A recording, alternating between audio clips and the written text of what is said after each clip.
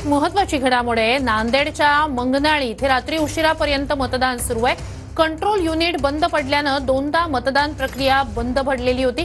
रात्री साडेनऊ पर्यंत मतदान प्रक्रिया पूर्ण होणार आहे.